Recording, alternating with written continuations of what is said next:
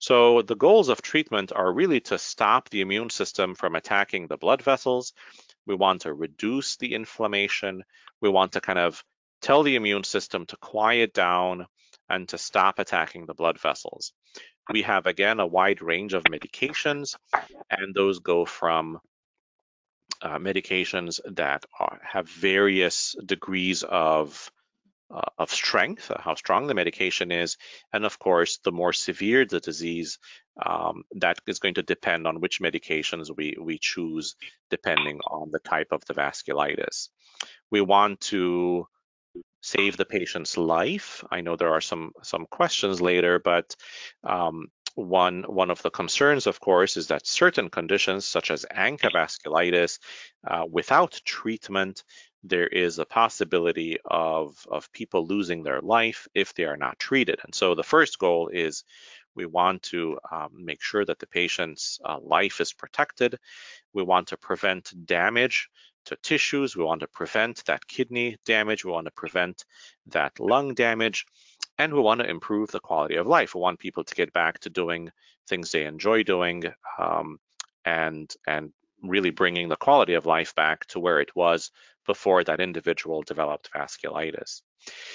But the treatment of vasculitis is complicated, right? We have to consider uh, the, the, the risks of the vasculitis because vasculitis can damage organs. It can uh, take away people's quality of life. Um, if, if a person is spending time in the hospital, if a person is spending time in pain, if a person is spending time in the doctor's office, that's impacting their quality of life. We want to give treatment to help this. But then we also have to be understanding uh, that treatment carries its own risks, right? Treatment can cause um, an increased risk for infections. Prednisone has a lot of side effects. Depending on the medications, all of them have side effects. And so it's a delicate balance balancing act with balancing the risks of the vasculitis, balancing the risks of the treatment. And what I tell patients is that at every doctor's visit, that is really what the visit is about. The doctor is assessing how is the vasculitis doing? Are there any risks from the treatment? Are there any complications from treatment?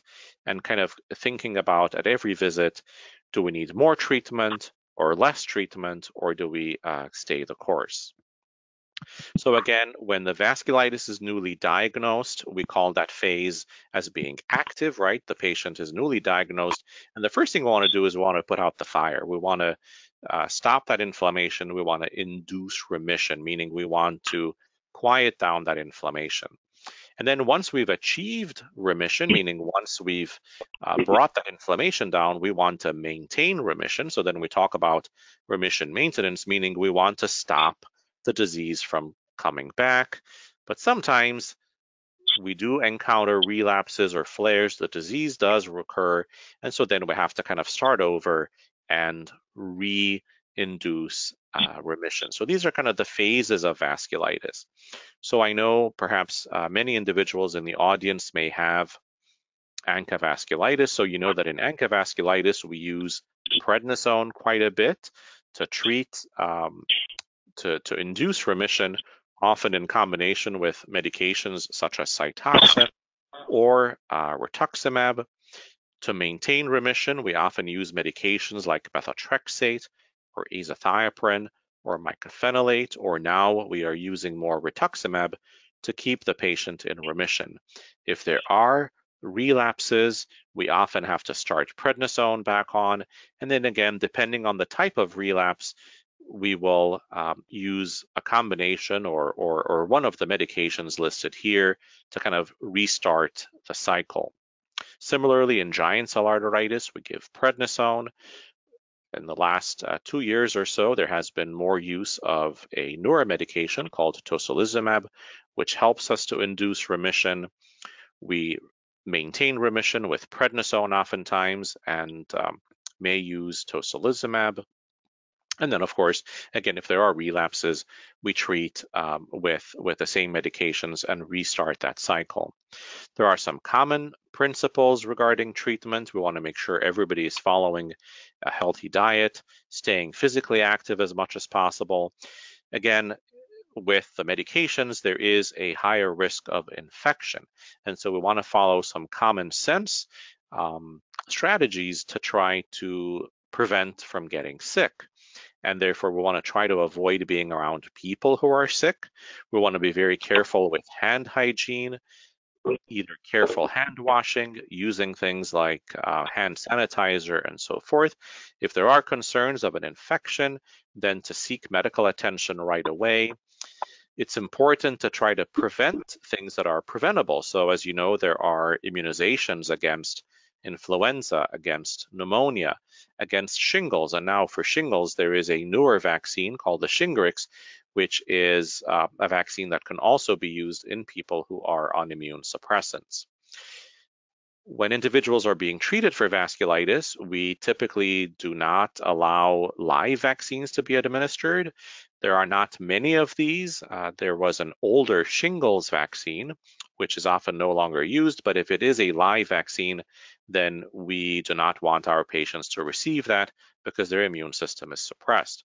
We will often prescribe an antibiotic to prevent a rare form of pneumonia called pneumocystis. This is a form of fungal pneumonia. It's a fungus that can affect the lungs and cause a serious form of pneumonia. And so many of you may have heard or have been on a low dose of an antibiotic to prevent this form of pneumonia. As you know from glucocorticoids, from prednisone, there is a risk of bone thinning, and therefore we use medications to prevent uh, bone loss. So in vasculitis, once we make a diagnosis, uh, we uh, want to treat the disease, we want to prevent flares. And the main concern is that every time a patient has a flare, there is concern that that flare may be causing damage to the organs, whether that be the kidney, the lung, the skin, the nerve, and so forth. And so what can we what can be done to reduce uh, damage from vasculitis? The main important things are early diagnosis. So uh, any patient who there is concern for vasculitis, we want to try to get to a diagnosis as quickly as possible. We want to start treatment to shut off that fire, to turn off that inflammation and induce remission. Of course, follow up with um, providers is important, whether that's a rheumatologist or sometimes a team of doctors, lung doctor, kidney doctor, etc., because we want to try to minimize relapses or at least catch them early uh, before there is damage to internal organs. We want to also try to reduce damage that's related to medications, right? So as you know, prednisone uh, can cause a number of side effects other medications, all medications have side effects, and we want to balance that carefully um, with with your provider. And that's one reason we do this uh, regular monitoring with lab tests is to monitor not just the disease, but then to monitor uh, the medications and to monitor for side effects.